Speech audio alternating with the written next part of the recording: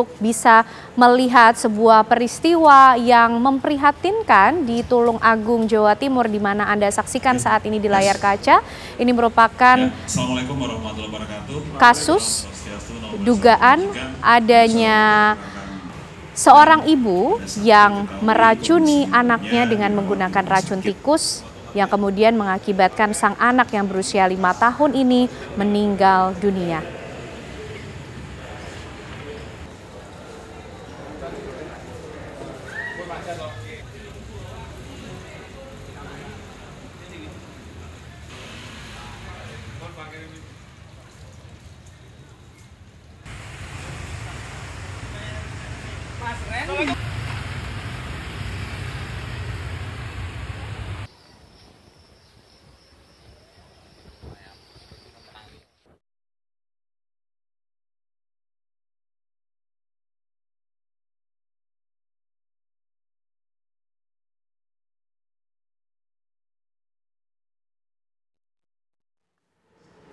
Ya kami ajak Anda pemirsa untuk mencari tahu peristiwa yang terjadi di Tulung Agung, Jawa Timur bersama dengan Kasat Reskrim Tulung Agung. Sudah bergabung bersama kita Bapak Muhammad Nur. Selamat malam Pak Kasat Reskrim.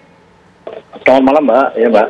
Pak, eh, bagaimana sebenarnya kronologi dari peristiwa ini dan kemudian polisi juga bisa mengungkap kasus ini? Benarkah kemudian dugaan bahwa sang ibu yang meracun anaknya sendiri?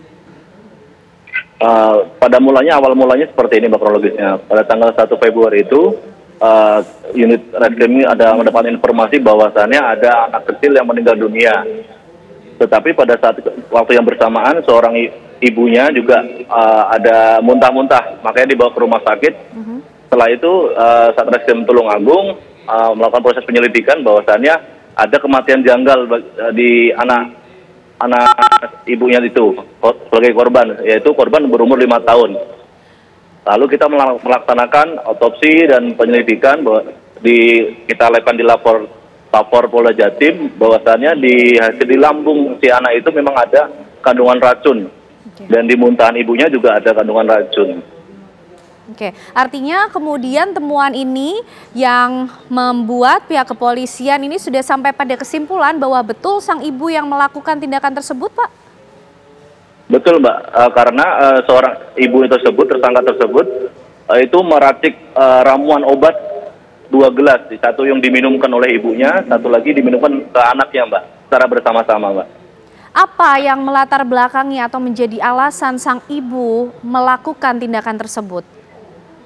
Uh, motif uh, ibu tersebut yaitu sakit hati dengan suami ya mbak karena uh, ibu tersebut sering cekcok dengan suami ya mbak selama enam tahun ini. Oke.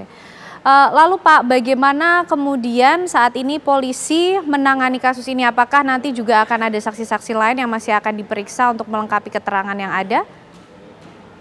Sementara ini uh, kita juga melakukan tambahan saksi beberapa saksi untuk melengkapi uh, proses penyidikan kita. Oke, Pak, pada saat kemudian sang bocah ini ditemukan dalam kondisi meninggal dunia, sudah berapa lama dari peristiwa itu terjadi? Di saat kejadian itu yang mengetahui pertama yaitu neneknya, Mbak, karena uh, ibunya dibawa ke rumah sakit oleh suami suami tersangka dibawa ke rumah sakit kurang lebih pukul tiga setengah empat dini hari anak itu oh, sudah dingin badannya. Artinya sebelumnya adalah sang ibu ini memiliki niat untuk melakukan aksi bunuh diri seperti itu Pak bersama dengan sang anak? Betul Mbak, e, niatnya seorang ibu itu bunuh diri dan bersama anak-anaknya diajak untuk bersama-sama minum racun tersebut Mbak. Ada berapa anak dari e, ibu tersebut Pak? Anak tunggal Mbak, ini anak tunggal. Oke baik, lalu untuk ancaman hukumannya sendiri Pak kepada pelaku? Ancaman hukuman itu uh, kurang lebih 15 tahun penjara. Mbak. Baik, terima kasih Pak Muhammad Nur, Kasat Reskrim Tulung Agung yep. sudah bergabung bersama kami di Apa Kabar Indonesia Malam. Saat malam Pak. Terima kasih Mbak, selamat malam Mbak.